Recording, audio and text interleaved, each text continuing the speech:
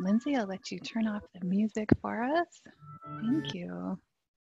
Welcome, everyone. We're so glad to have you with us. And while we can't be together in person, we are so glad to welcome you to the 2020 ABE Math Institute in the comfort of your own homes. So we are excited about today. We have uh, been planning this for a long time and are so glad to see so many people are able to join us for a day of math, teaching and learning. So a couple of things. Um, I'm Patsy Egan. I direct Atlas housed at um, Hamline University, and I'm joined by an amazing team of people who have made today come to be. So first of all, Marisa Giesler is in charge of our tech for this session. If you are having any audio issues or other technical difficulties, please chat directly to her. A couple things if you're not terribly familiar with Zoom, there's a gallery view or a speaker view. You'll find that in the upper right-hand corner of your screen that you can mess with and see what your preference is. At the bottom of the screen, you'll need to hover a little bit with your mouse to reveal a few more controls. We ask that you do keep uh, yourself muted and your video off. During most of the day, we'll let you know and it's okay to turn those on. And there's um, also a participants um, button that you can hit and that allows you to raise your hand and such and give the, um, the speaker a thumbs up, for example. The chat box is also located there. You can use that to chat with the whole group or to someone specific, uh, like Marisa, if you're having any audio or visual issues. Show the controls for closed captioning and uh, those reactions are down there as well. Just a reminder as well that most of today's event will be uh, recorded and posted publicly with, the, uh, with one exception that we'll let you know about. All right, so welcome. We are so glad to be here in this space and have some time uh, for math today. So we hope you're able to put aside everything else that you have going on for at least most of the day and spend some time thinking about teaching and learning math. So I am actually going to introduce a couple of people who've been pivotal in making today happen. First of all, Gail Rutan, and Gail will come on to say hello. Uh, Gail is our events manager. Hello, everyone. And Thanks. Marisa. She's not in the middle of helping someone. There she is. Hi, everyone. Welcome. So we are Team Atlas, um, and we have kind of behind the scenes uh, the people who are making today happen. And I want to be sure you all know about Lindsay Poost. Lindsay is our numeracy coordinator who will tell us more about who's been involved in making today. Yes, thank you everyone for being here. I am so excited. Um, and yeah, we have a really fun day planned, really meaningful fun day planned. So um, for those of you who don't know, I used to be Cermak, now I'm Poost. I got married. We'll keep going, but just wanted to say that. I'm pretty excited about it. Um, we also have our A team, and so you can see their names on the screen. We have, um, if, and if they can just turn, if you can just turn your camera on and just wave. So if you're like, who are these people? You can look at your gallery view, but Andy Albee, Amber Delager. Good morning, everybody. Katie, um, Cheeky, and Chris Kloss, um, Marcy, Megan, Rebecca, Terry, Tom, Patsy, and Astrid, all of us um, have been working hard on this event, and we are so excited you are here. Um, a few professional development opportunities we want to make sure you are aware of. Um, if MCTM, the Minnesota Council for Teachers of Mathematics Conference, um, if that conference that happens every spring is happening next spring, we then will have scholarships available for people to attend. So stay tuned with the state of the world. We will see. Um, these are the dates that they have slotted for uh, this event should it happen. Um, so stay tuned uh, to the, the newsletter because uh, we will be communicating that way around that opportunity. Um, and then also I'm gonna actually um, turn this over to Rebecca Strom and, and Amber uh, to talk about the Adult Numeracy Network. Um, Rebecca is the state region, the state representative, and Amber is the, the regional representative for ANN. Thanks, Lindsay. Um, we are so excited to be able to share information about the Adult Numeracy Network with all of you. You may have seen us at um, different conferences with our flyers and our information. So ANN is a national organization dedicated to teaching numeracy and math to adults. Um, it's really cool that we have an organization specifically targeted towards our students and their needs. Um, as your regional rep, I help connect you to lots of things, including um, sharing challenges and joys and resources and insights and helping you think about ways to collaborate and ways to have leadership. Uh, Rebecca is going to share with you one really cool opportunity that comes with ANN. So I just uh, dropped a couple links in the chat box. One is the website for Adult Numeracy Network, and one is uh, just a flyer so you can kind of see some of the information. Um, one of the things that we try to do is, uh, as educators, to keep learning and growing, and so we offer opportunities for practitioner research. So often the research that's in education is K-12 based, and so if it's something you're interested in finding out more about, if there's something you're interested in learning more about or trying out research, let us know. Um, we can hook you up some, with some resources and some support. There's even a stipend for uh, having practitioner research, completing a project, and things like that. So um, yeah, keep us posted, but look at the ANN website has several examples of practitioner research. Um, as a member, you can see all of the examples. As a non-member, you can peek through some and see what's out there. Thank you so much. Um, I also want to uh, mention this resource. This is a K-12 resource, but um, uh, they have free PD every Tuesday from 8 to 9 p.m. And so um, Googling global math department presentations, that is also um, something to check out and see if the topics are relevant for our work as well. Um, and then Twitter and Facebook, social media, there are math communities on uh, Twitter and um, a huge math community on Twitter and also uh, a math community on Facebook. And so the MTBOS hashtag, see, I'm, I need to get better at Twitter. I say this every year. Every year, this is my New Year's resolution. Um, but we have some amazing uh, experts on this call that if you ever want to get involved with Twitter, um, Abby Rosa, um, Tom Kroger, Amber, ask them and they will help you for sure. Um, there are amazing resources that are shared, lesson plans, ideas, conversations um, to take advantage of that. And I'll turn this over to Patsy. Yeah, and actually, Astrid, do you want to say a few words about what's coming up this fall? Absolutely. Good morning, everyone. This is Astrid Leiden from the Department of Ed. I am wanting to share with you just a couple of other big statewide events that we have going on this fall and winter. Want to make sure you mark your calendars. Uh, the next big event is our statewide fall teaching and learning at a distance conference. Since we are not able to gather in person for regionals this fall, we've decided to come together as a state to discuss and share best practices for teaching and learning in distance and hybrid environments. This event will be the afternoon of November 5th and all day November 6th.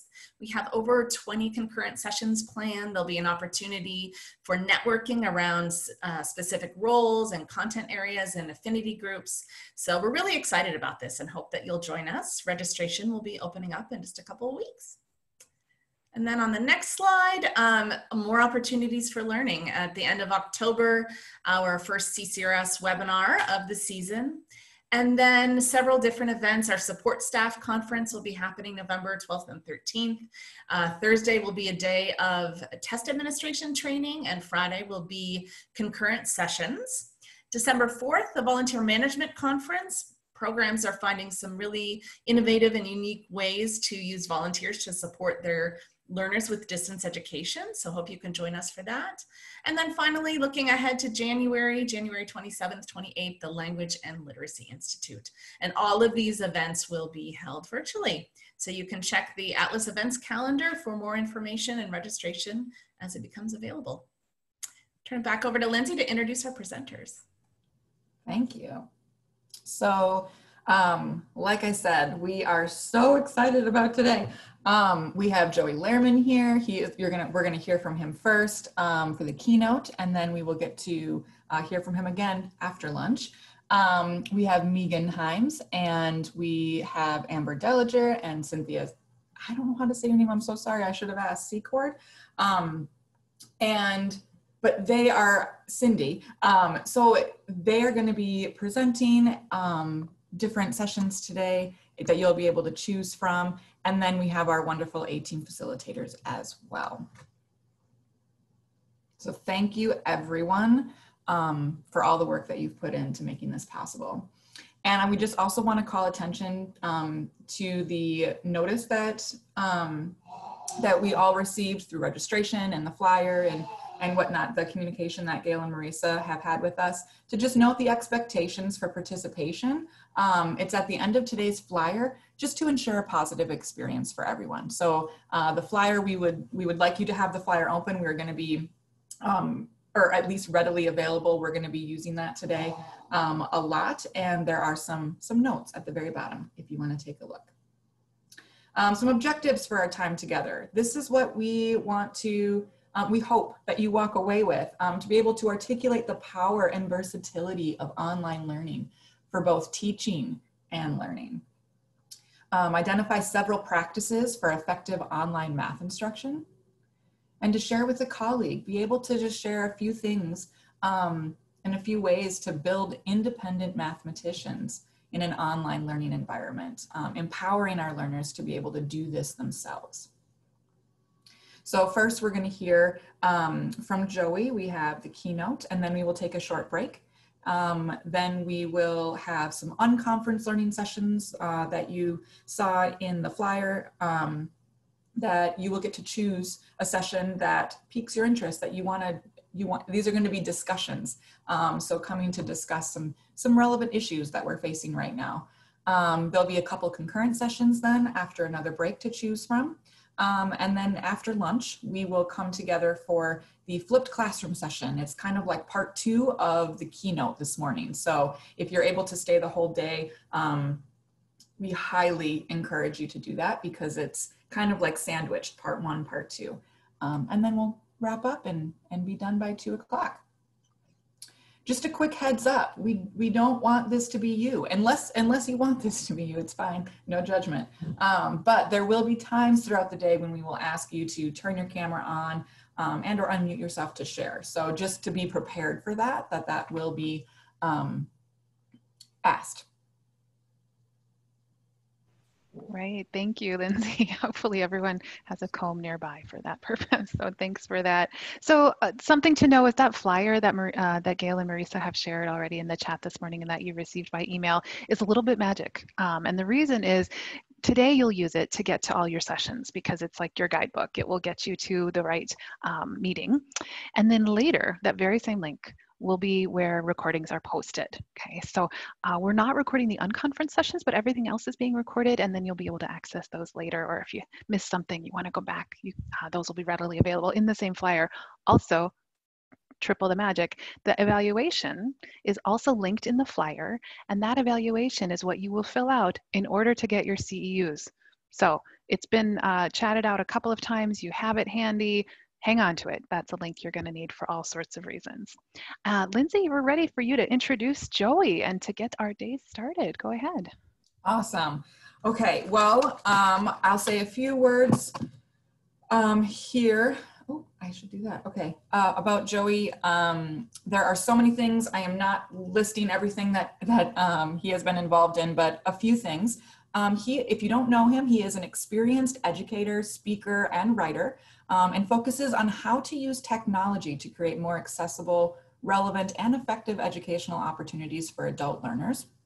Um, in his primary role in the adult education program at Delgado Community College in New Orleans, Joey launched the first fully online adult education program in the state. Since 2014, the eLearn program has welcomed over 5,000 new distance learning students. Um, in 2019, he won a State Innovation of the Year Award at COABE for eLearn. Um, he also um, joined in 2019 the SkillRise Project, an initiative from the International Society for Technology and Education. The project provides free resources to help adult learning organizations explore how to use EdTech to advance lifelong learning. He was also selected as one of six national trainers to lead the outreach for Google's new applied digital skills curriculum. He's a level one and level two Google, Google, Google, Google certified educator. Um, and he has 12 years of classroom experience, including 10 years in adult ed. Um, and then lastly, in 2020, he was nominated to join the advisory committee for the Outreach and Technical Assistance Network, uh, helping to shape vision and strategy for the organization that supports adult educators with distance and blended learning initiatives. I said all of that basically to say he is highly qualified to to to enlighten us and just help us along this new journey that we are on of online learning with adults learners. So Joey, um, feel free to take the screen. Thank you so much, Lindsay, and good morning, everyone. Welcome to the Math Institute 2020. I'm going to have lots of thank yous to share throughout the keynote today, um, but a big thank you to Atlas and to the A team for welcoming me to today's conversation. Um, as Lindsay mentioned, I am the Program Effectiveness Coordinator with Adult Education at Delgado Community College. I'm also a project manager with ISTE Skill Rise Initiative, I think my favorite element of the biography that was not shared, though, is that I was born and raised in Minnesota. I went to Armstrong High School and I spent the first 18 years of my life in Minnesota. So it's uh, truly a privilege and a treat to be able to join and connect with other Minnesota adult educators. Um, so with that, uh, I think we've done enough about my background. Uh, what I mostly want to emphasize here is that my entire career has been in adult education and I've always played a focus on technology integration, and distance and blended learning. Um, so with that, I want to kick it off with a digital literacy tip. Um, this is how I start all of my presentations in the spirit of helping all of us continue to build new skills. So I want to share a few of my favorite keyboard shortcuts. For those of you that might not be familiar, a keyboard shortcut is a way to complete a task without using the mouse. So open a new tab or copy and paste. So on the next screen, I'm going to list through a few of my favorites, but for those of you that don't use them often, essentially you'll want to hold a key and then add another. So if you're on a Windows device, that'll start with control.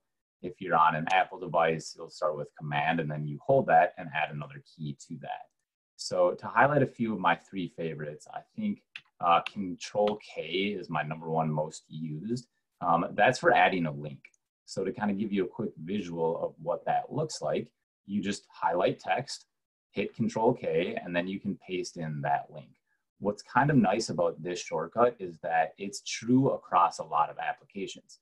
So you can use Control K in Gmail, in Outlook, in, in Google Docs, in Microsoft Word. So it's kind of uh, one of the few global keyboard shortcuts, kind of like Control C and Control V. Um, highlighting two of my other favorites, I think Control F is an essential 21st century skill because we're regularly doing research on the internet and it's a time saver to be able to find specific terms on a page. So Control F is one of the first keyboard shortcuts that I'll share with my students when I'm teaching. Um, and then the third one, also a great one for adult learners, would be Control Z. That will undo something that you've done recently on a computer. Um, I think that one's great because adult learners approach technology often with anxiety. They kind of think, hey, I'm not that good with technology and I'm nervous that I'm gonna break the computer.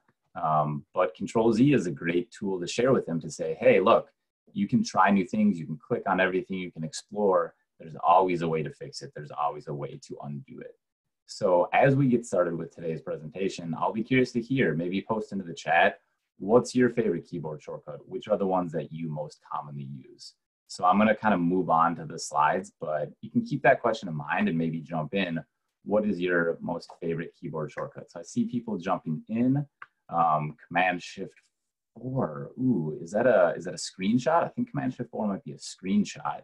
Control N, Control Z, snip. Yep. So yeah, a screen, uh, a keyboard shortcut to be able to take a screenshot is fantastic because of how often we're trying to show students things on screen. So quick ways to do that. And I see the chat alive now with people's favorite keyboard shortcuts. So thank you for jumping in um, and a few others on here. Like if you're in Google Docs often, you can quickly add a comment and so forth. So check out some keyboard shortcuts as a way to kind of boost your productivity.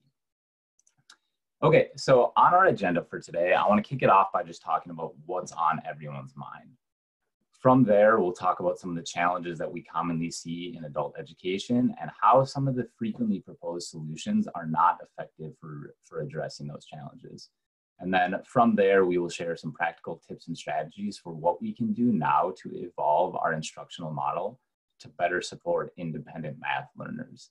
Um, as Lindsay mentioned before, this is kind of a two-part presentation. So if anything captures your interest in this morning's conversation, I encourage you to, go, to come back this afternoon to be part of that flipped session workshop, which is gonna be very interactive and collaborative, and we hope to see you this afternoon as well.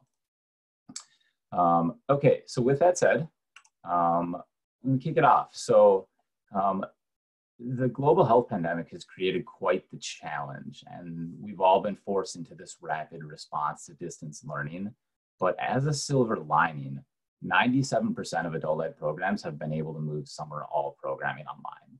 So we're going to look at a series of issues that we're all experiencing today, but I'm also going to sprinkle in a few positive moments like this to realize that, hey, we are trying to figure this out and we're surrounding our colleagues and our students with creativity and responding with unique opportunities to really connect with staff and students. So COVID is very much on everyone's mind. And we know that because it's ever present and because we're all working remotely and because it's created some unique challenges with our adult learners. So that's what we're going to look at next. So this is where I want people to chime in on chat. Um, can we think of a job in 2020 that does not require digital skills? So I'll give everyone a few seconds to sit with that and kind of brainstorm. Um, can we think of a job that we can get or our adult students can get that essentially would not require any digital skills?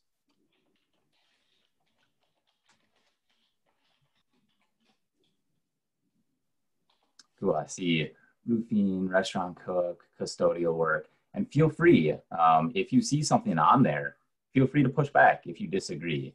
Um, I don't have all the answers here. This is an open brainstorm for the group. Um, so as we continue that brainstorm, I want to talk about how digital literacy is essential to the work we do as adult educators.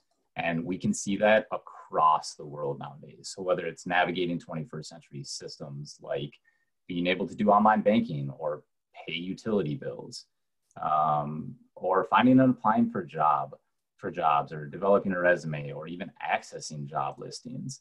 Um, being a partner in kids k-12 education for those of you that have kids now um, how many of their schools require that you interact in some way with a learning management system or a digital community digital communication system? Um, or how about all, all the free resources that exist online, being able to build a budget or use Craigslist or Facebook Marketplace to find free or low cost resources. Um, continuing on, uh, just using technology to be an independent learner and a continuous learner. And that's where we kind of land that digital literacy is an essential skill for math literacy. It's an essential skill for being a member of 21st century systems continuing to look at a bit of data to kind of inform the challenge that we all see. There are 37 million adults that have not completed a high school credential. Of those 37 million that need a high school credential or are looking to build English language skills, any guesses about how, what percentage of those adults that are enrolled with a literacy provider today? So there's 37 million adults in need of basic skills what percentage of them are enrolled with an ABE provider or a library or a literacy provider? And I see our first guess is spot on. So typically only about 10% of adults with a high school diploma or English language skills are enrolled with a literacy provider. So even across all the great work that we are doing and our community of adult educators are doing, we're still missing 90% of those students in need.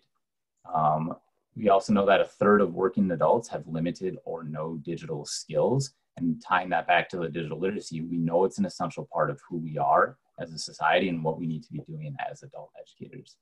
Um, one in six Americans between age six, 16 and 65 have low literacy skills, but 95% of them carry mobile devices. So we can see an opportunity right there to better connect with the 90% of adults that are in need of our services, but that we're not able to reach. But with that said, digital literacy is a challenge for a variety of reasons. 32 million adults can't use a computer. That becomes even more acute when we look at Black and Latino workers. Um, a third of US workers have limited or no digital skills. Um, continuing on, many households don't have internet access, and a lot of people aren't comfortable using technology to learn. I do want to emphasize here that there are some issues that we as adult educators can't solve we're not going to be able to connect every adult with um, internet access, for example. But I do believe that community colleges and ABE providers can play a pivotal role in outreach. We can help connect our students with free and low cost resources so they are better able to connect with this global community of teachers and students. Um, specifically thinking about digital literacy, I want to offer kind of a new lens for thinking about what digital literacy is think we've historically defined digital literacy as can you use a computer? Can you send and receive email? Can you access a local library? But I think we need to broaden that lens based on the data we saw on that last slide. It's not just one strand, it's kind of a three legged stool. So there's the broadband layer. Do you have consistent access to high speed internet at home? Do you have the hardware? And that can mean more than a mobile device because we know it can be challenging to practice essays or do math on a mobile device. Um, so do you have a laptop, a desktop, and a tablet? And then finally, if you have access and if you have the hardware, do you have the digital literacy skills needed to use um, those resources to solve problems and communicate and so forth? So the Digital US Coalition has kind of expanded that into a new definition that they're coining as digital resilience, which is having the awareness or skills or agility to be empowered users of technology to ask and answer interesting questions, to connect with free and low cost resources and so forth. So as you work with your colleagues and as you work with students, I encourage you to kind of broaden that definition. It's not about literacy anymore. It's having the ability to learn and relearn and continuously build new skills. Um, another common phrase I hear in adult education is I'm not just, I'm just not that good with technology. I will note that my source for this is anecdotal, just based on conversations with educators around the country.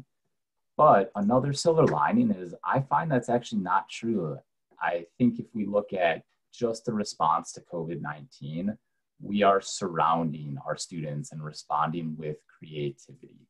We are building new digital skills. I've talked to some programs that are just using mail packets that they send, paper packets that they send through the mail, and then they have text threads and phone calls and video chats based on content that's set out. So that's a very lo-fi way to engage with our students. So when we hear that we're not just we're just not that good with technology, I, I kind of think it's not true. And I want us to look around and take notes of moments to be proud.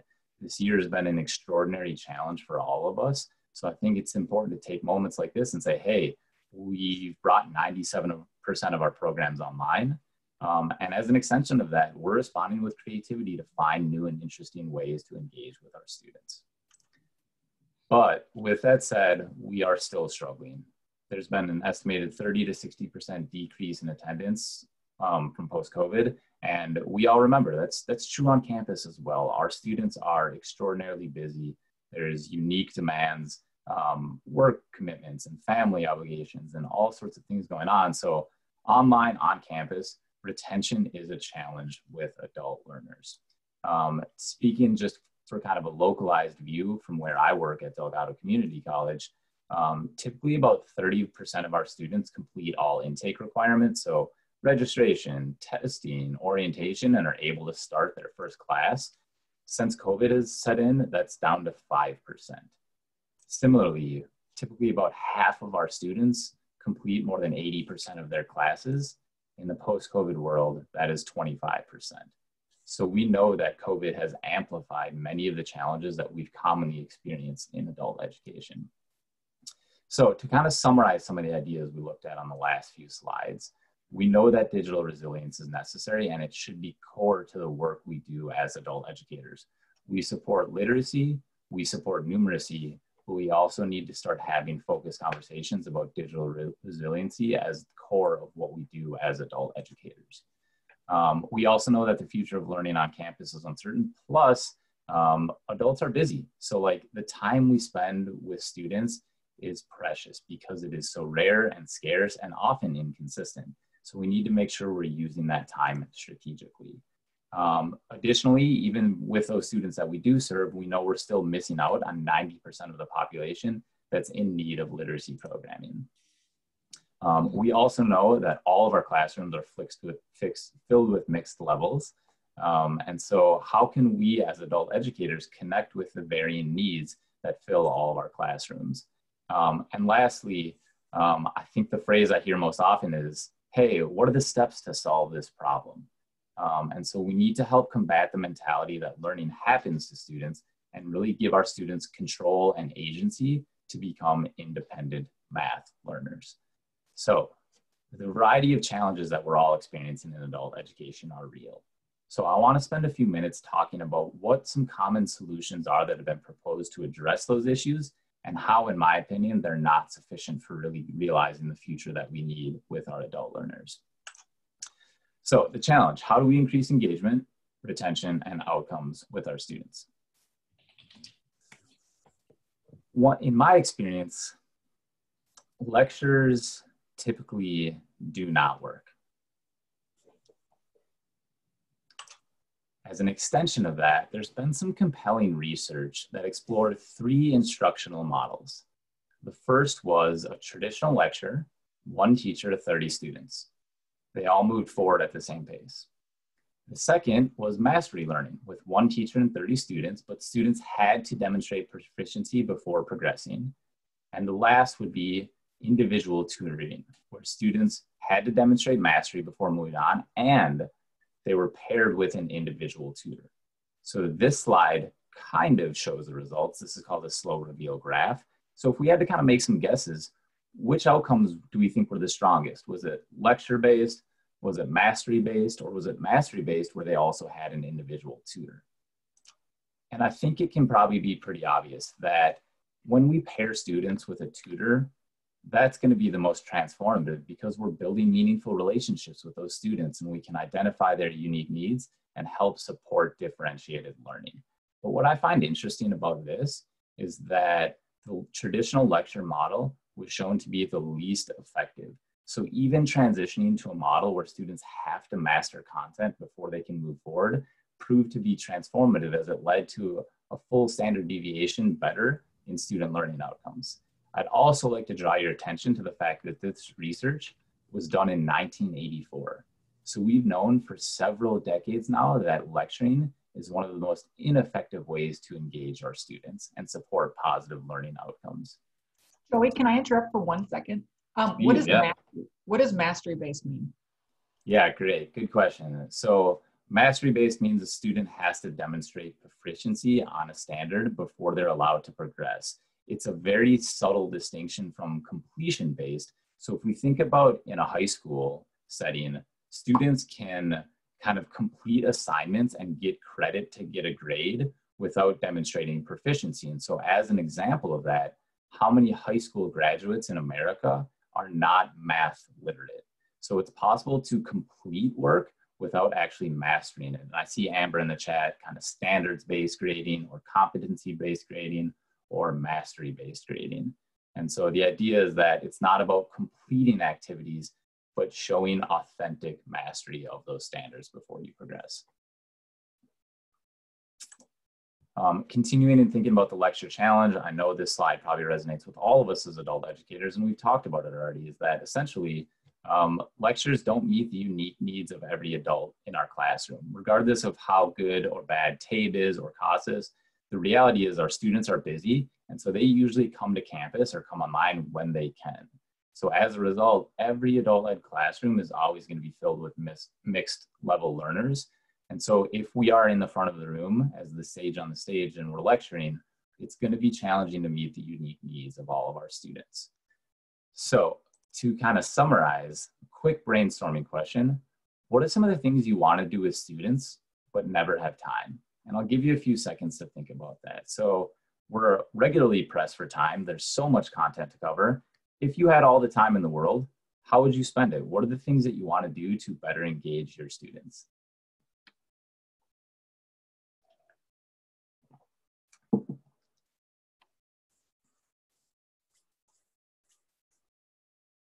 see, use more manipulatives, make an IEP, provide individual help, project-based learning, um, problem solving skills. So asking deep, engaging questions. There's some extraordinarily fun math questions that you can work on for weeks, but we're so pressed for time that we, we don't give ourselves the space to be really engaged with those deeper problems.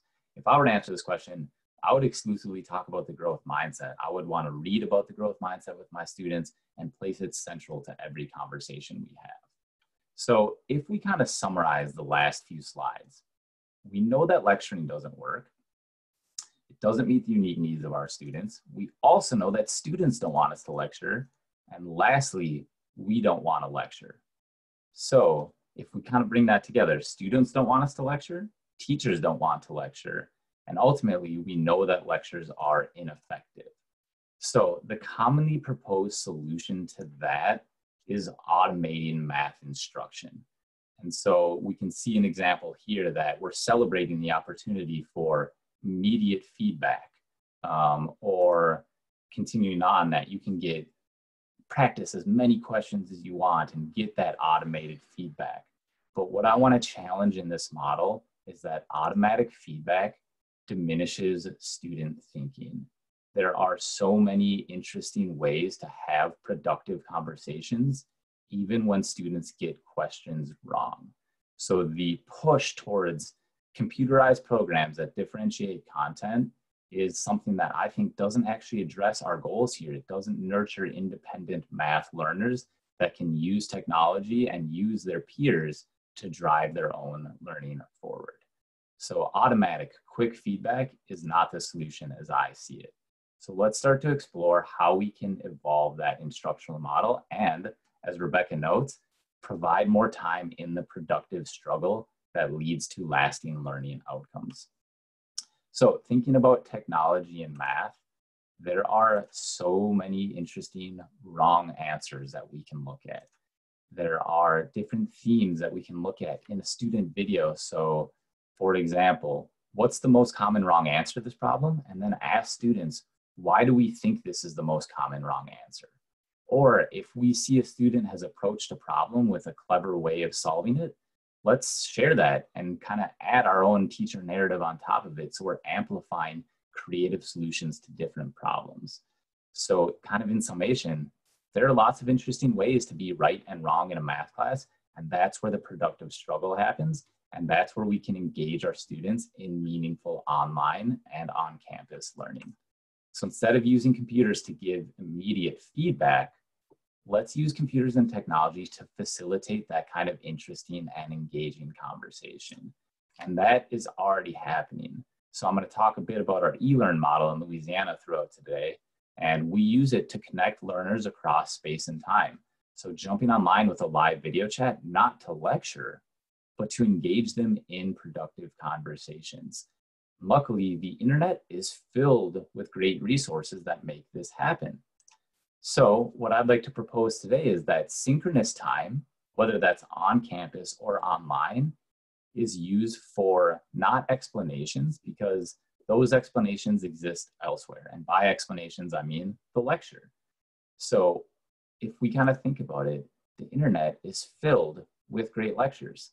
It's filled with great explanations. So as an example, what's the last video you watched on YouTube to learn something new. And I'd like to hear from everyone here. Pop into the chat, take a second to think about it.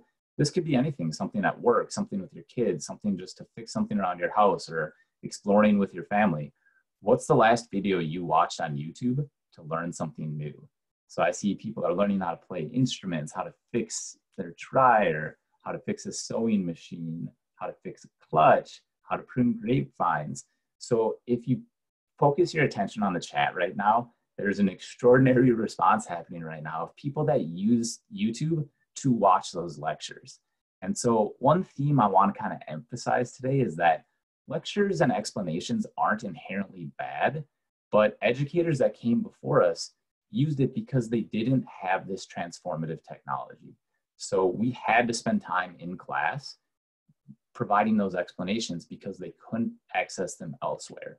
So to return to that last slide, instead of using synchronous time on explanations, move those lectures to any time else. Students can watch YouTube videos on their phone.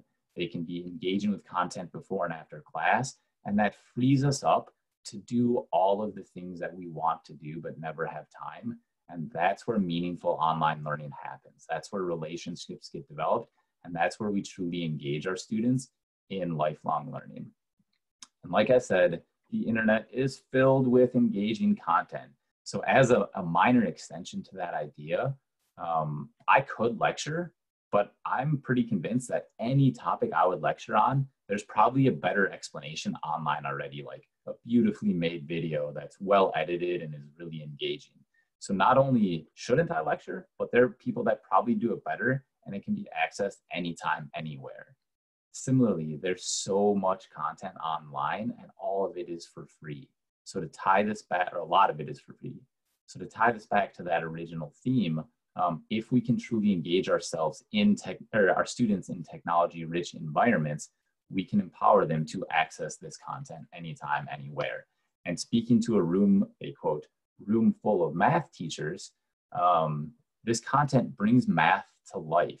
So thinking about re graphical relationships and plotting points on a coordinate plane, which will be the focus of our lesson this afternoon, technology can bring that to life. As a quick conclusion to kind of this idea, when we started to scale our distance learning model in Louisiana, it was in 2017, we added about five partners per year. Um, I want to talk about the division of labor. So we're the lead agency at Delgado.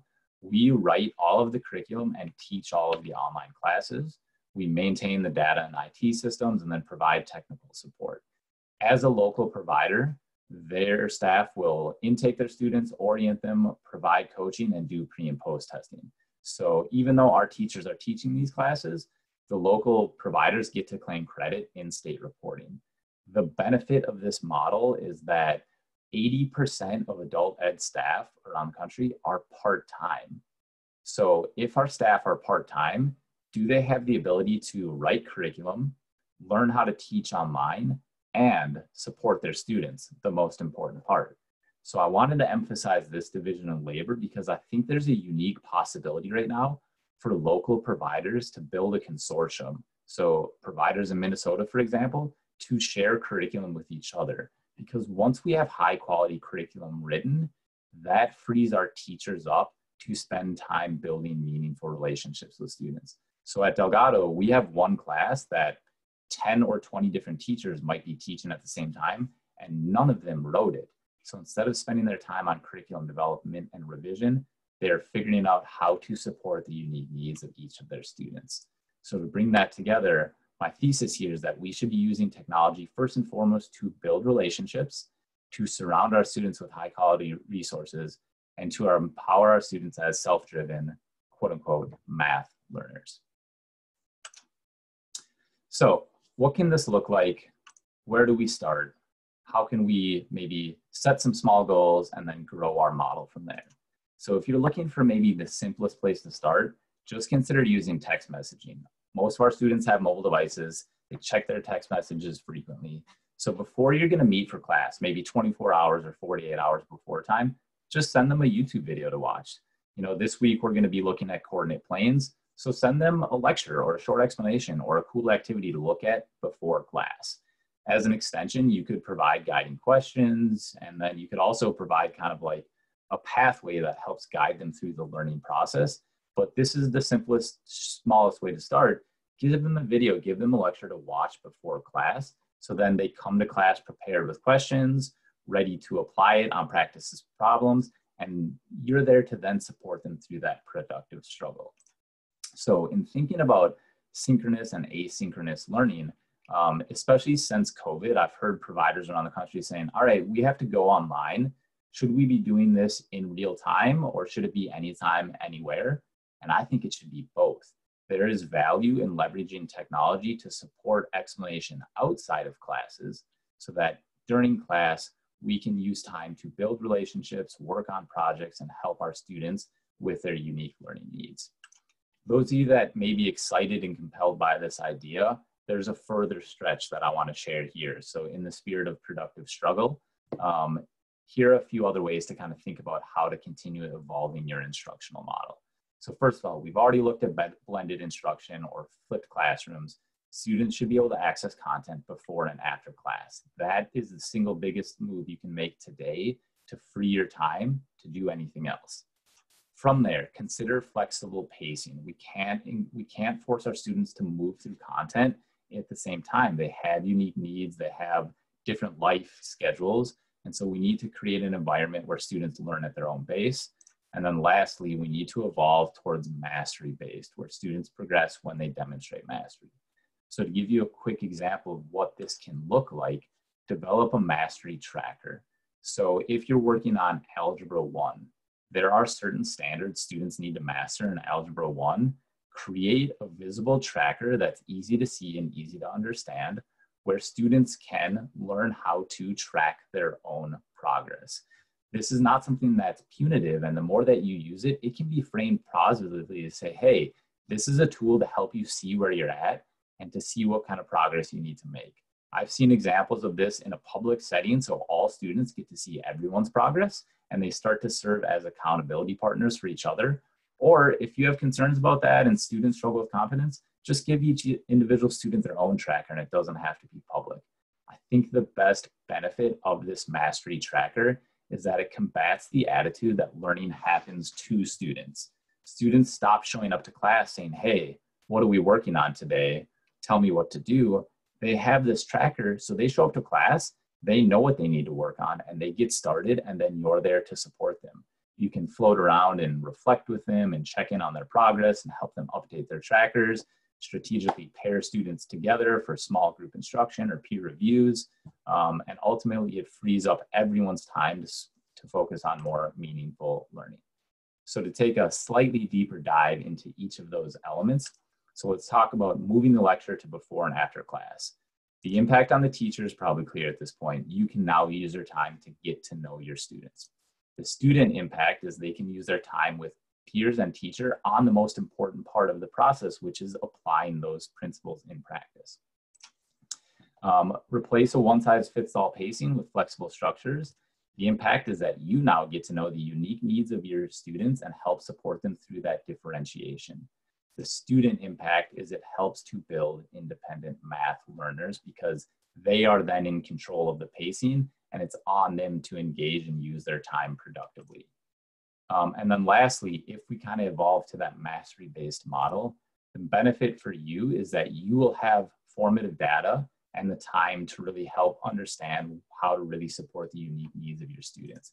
And the student impact is that they will build confidence as they make progress and they see that progress in a meaningful way. So, to pull out a quote, if we can shift towards this model, teachers can use the entirety of their class time to facilitate discussions, to work on reassessments and reflection. So then we can help students overcome those road bumps on their journey to authentic understanding. So those of you that are curious, check out the Modern Classroom project. Um, and I'm going to share a link to that later on where you can take a deep dive into what these principles look like in practice. I should add a caveat that it is a K-12 focused project, but a lot of the principles could be transformative if we can figure out how to adapt them into the adult ed classroom. So to summarize, we can use our class time to collaborate. Asynchronous lectures mean we have more flexibility with our pacing and students are tracking their own mastery, which nurtures that metacognition and independent learning. So in practice, what this can look like, students complete a lesson and then they self-reflect about what went well in this lesson. Can I explain that I'm able to do these standards or not? It also supports that metacognition that's essential for 21st century success. So, how did I use my time today? Why haven't I made the progress that I'm looking for? What additional support did I need? Where did I get stuck? And then you, as a teacher, are there to help nurture that independent learning process. So, thinking about mastery based as the future, as a summation of that question, we want to get away from the clock time model. It's no longer about completion. And the example we see there is how many high school graduates have graduated but are not proficient in math. We want to nurture those metacognitive skills and help support independent math learners. So I want to summarize those in a way that I think is easy to frame in my mind. Just simply put, blended in instruction refers to how content is delivered. We can deliver content before class, we can deliver content after class. The flexible pacing is how are we facilitating the room? Are we requiring every student to work on the same topic at the same time?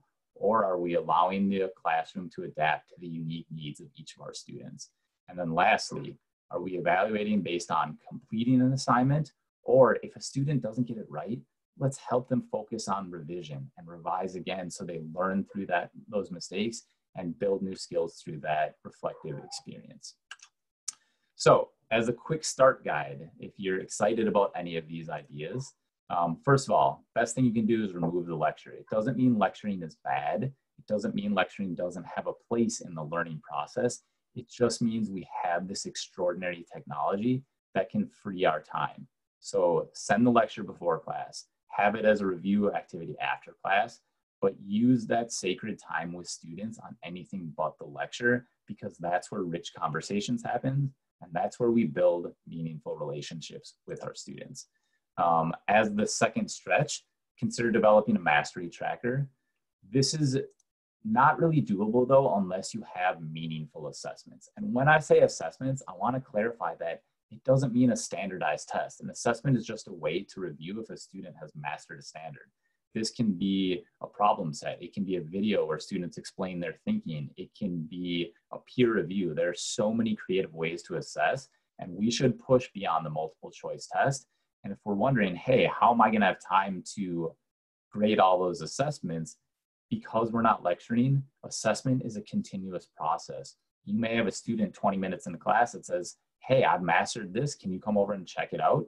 and then you spend five minutes with that independent student because you're not spending time at the front of the room lecturing.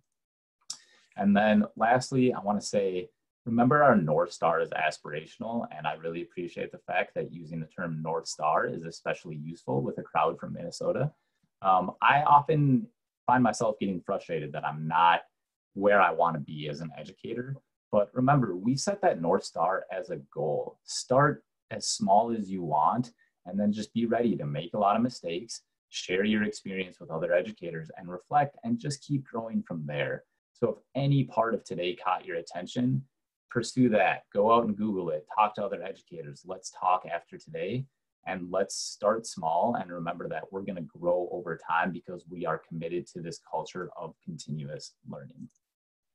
So, with that, I want to wrap up with a few resources that hopefully can be useful for you as you kind of get started on this journey to explore what uh, 21st century teaching and learning can look like. So as a summation, um, we now know that digital literacy is, is necessary, so blended learning brings technology into the classroom to address that issue.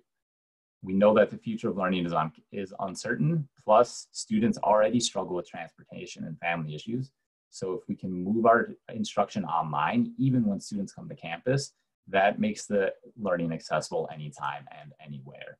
Um, we know that current programming only reaches about 10% of those in need, so technology can increase that access. Um, our, our classrooms are filled with mixed levels. The flexible pacing and the mastery base encourage us, encourages us to really get to know our students and enable students to become those independent math learners as they fight through their math anxiety and build confidence because they now control their learning arc. So, my tagline that I go with is We are all teachers, we are all students, and that is core in the 21st century. Let's restructure our classrooms so we're all learning from each other regularly. That is teacher to student, student to student, and student ideas to other interesting ideas. So you can definitely have access to the slide deck because there's a few resources I'll draw your attention to.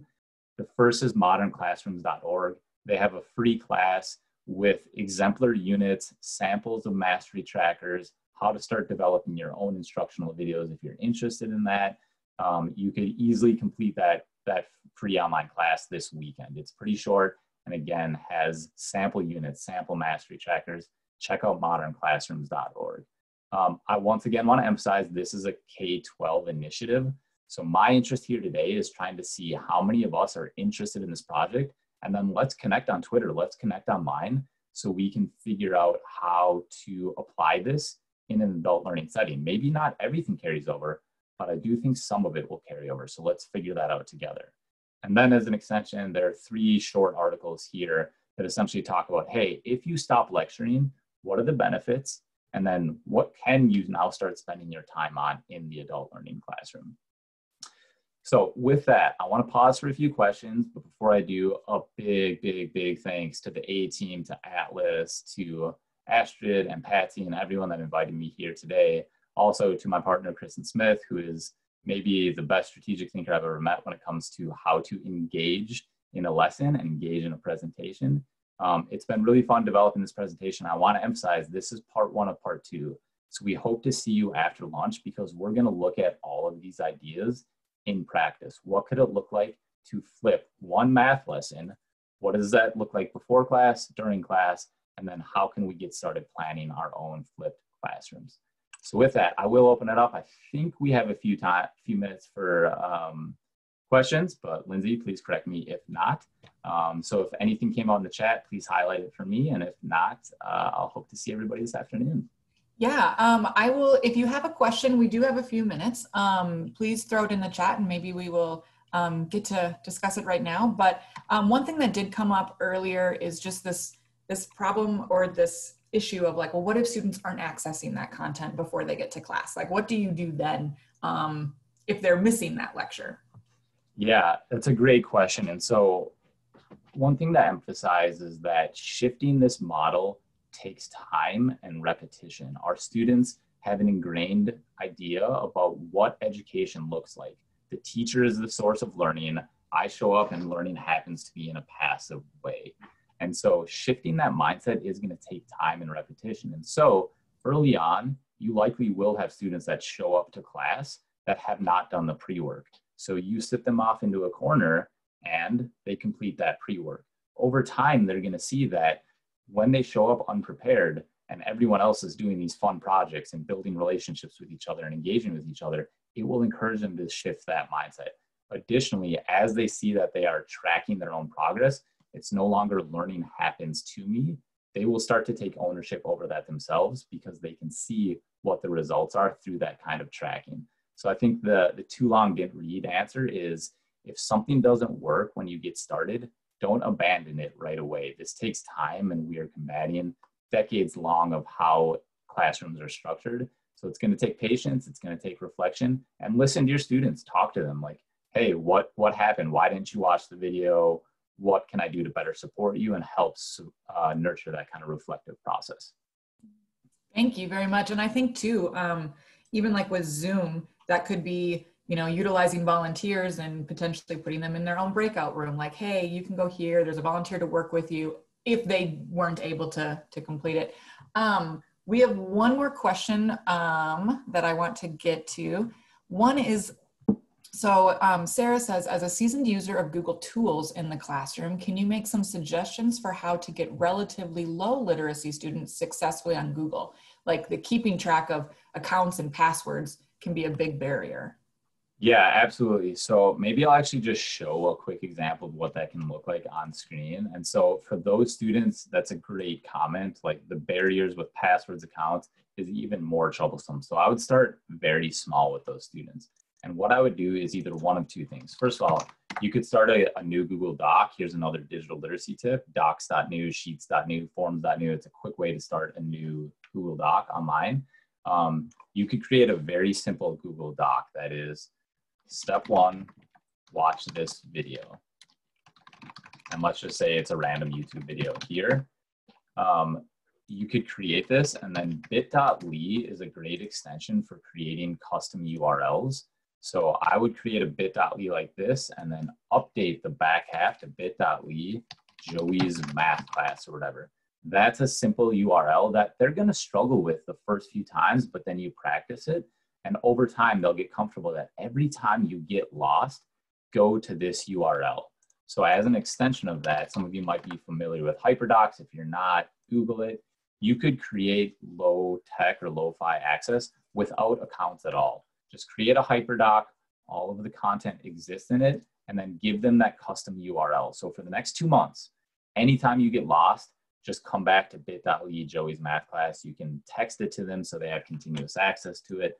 So I would start with something where an account isn't required and just a simple landing page that they can get to and repeat that over time. Thank you so much. That is so helpful. Um, and with the the chat, there's been so many things happening. So everybody, everybody has been loving this. Um, I am going to um, share back so I just want to say again, thank you so much, Joey. That was um, that was incredible, and I'm excited for part two at one o'clock this afternoon um, to kind of see this in action in a math classroom. So this is going to be awesome. Um, but next, coming up, we have uh, the unconference session. So uh, this is where you're gonna need your flyer because you will have four options. There are four different topics to choose from. So join a conversation that you are interested in. Maybe you have ideas to share and successes to share, or maybe you are puzzling over things um, and over issues that have to do with that topic. So those came directly from the survey that we sent out um, pre-Math Institute. Um, so we'll close out this Zoom in just a moment, and then you will use the flyer to join a, another Zoom um, by clicking on the appropriate link, and then we are going to start promptly at 10:15 a.m. So um, yeah, thank you, and you are free to go. Thank you so much, everyone. Thank you.